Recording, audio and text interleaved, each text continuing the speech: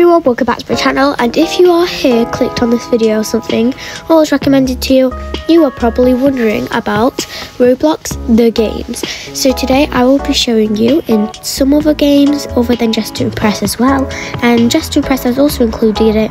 So I'll be showing you all the games, well not all of them, but most of the games in Roblox. Enjoy! We're going to be explaining Dress to Impress. You go through this portal and do this obby, this mermaid obby. Very enjoyable, and I think that some people would like it. If you like obbies and you like mermaids, you would definitely like this. Basically, you have to come in third, second, or first. Then you will be you'll be amazing. you'll be amazing at obbies, and once you've completed it, you also get to go to the mermaid race, but we're not going to talk about that yet. Going into this obby, you need to go into fourth place or higher with a duo in the actual Dress to Impress game. Then you will be considered as done that first task, and then this is the second task. You, I really enjoyed this personally, and um, I think other people will too. Um, so yeah, this is the obby. I will now like do it in speed mode.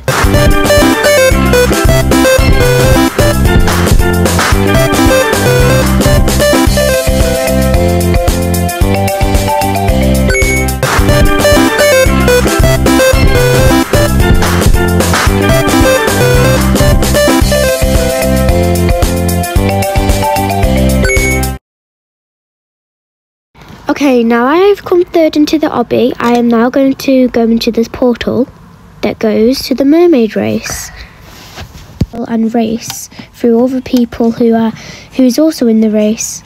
These speed bubbles make you go faster. Oh, I have not completed this one myself yet, so it's very hard.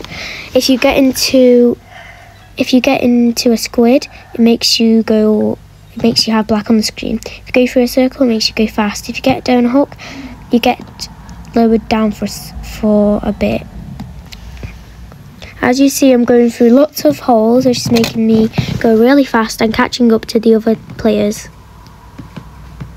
Oh, I just missed one. Here we have lots of hooks. And look, I just lost, but I tried my best. So we're going to be trying again.